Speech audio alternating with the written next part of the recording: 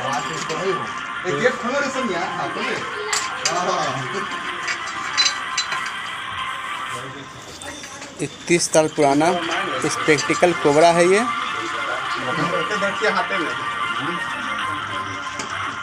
बिहार में इन्हें गेहूँ उमन बोलते हैं।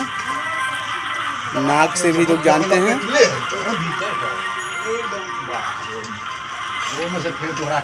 बड़ा फन वाला है। काफ़ी भागने का प्रयास कर रहा है। देख सकते हैं, इसका फन बार बार काटने का कोशिश किया जा रहा है, डसने का कोशिश किया जा रहा है। बार बार डस, डसने की कोशिश कर रहा है। चल रही है तीस साल पुराना स्पेक्टिकल कोबरा है। ये प्योर नाग साफ़ है ये। जरुआ में निकला है। अभी भोजन के तलाश में घर में कितना- चला रहा है अभी पानी और जान बचाने के लिए भी आ जाते हैं। क्योंकि बारिश का समय है। चारों तरफ़ पानी दिन रात वर्षा होने की वजह से पानी भर चुका है। तो ये कई दिन पानी में रह सक पाएगा। बहुत मुश्किल हो रहा है खाने पीने का रहने का।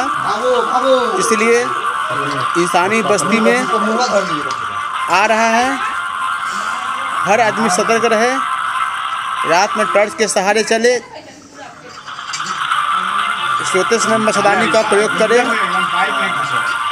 कहीं इस कोई भी जंगली जीव, जानवर से अगर काट ले धोखा से तो वे जब समय गवाए हुए हॉस्पिटल जाएँ। डिस्ट्रिक्ट हॉस्पिटल, सदर अस्पताल, जहाँ पे इलाज, वहाँ बना वीडियो वीडियो आसान हो जाता है। न कि झाड़ फूक के चक्कर में टाइम बर्बाद करें। टाइम बर्बाद करेंगे तो आपके साथ धोखा हो जाएगा। इसलिए वे समय गवाए हुए, आप डॉक्टर के पास जाएँ। ये पर्यावरण मित्र है, इससे भी बचना ज़रूरी है।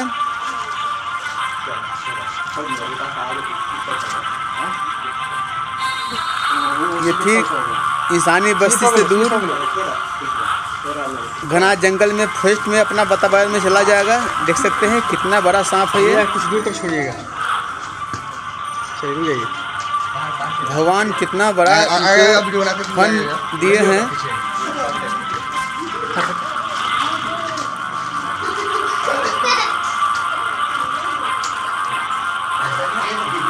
देख सकते हैं कई दिन से छिपल था ये सांप। अपना जान बचा करके काफ़ी सुरक्षित जगह था। लोग, लोगों द्वारा यह देखा गया तो काफ़ी लोग डरे डरे सहमे हुए थे। भय काफ़ी खा रहे थे। बच्चे बड़े सात आठ परिवार हैं। घर में घुसने का प्रयास कर रहा था, लेकिन जब देखा गया तो इसको जब बाहर किया गया तो जाके एक पानी का जो होता है समस्तेबुल इसी स्थान पे जाके बैठ गया था दो दिन से। काफ़ी इसको आराम मिला था, लेकिन इन्हें खतरा होने के भय के वजह से इसे रेस्क्यू करवा रहे हैं, पकड़वा के फिर हम लोग काफ़ी घना जंगल में फॉरेस्ट में दे देते हैं और फॉरेस्ट के माध्यम से फिर अपना वातावरण में बाकी का ज़िंदगी बिता पाते हैं। देख सकते हैं, ये सब काफ़ी स्पेक्टिकल कोबरा है ये। बड़ा फन है। दो माथे पर इनका स्पेक्टिकल चिनासी है। बिहार में गेहूँ बोलते हैं। ये हाजीपुर वार्ड नंबर पैंतीस गढ़ुआ में मिला हाँ।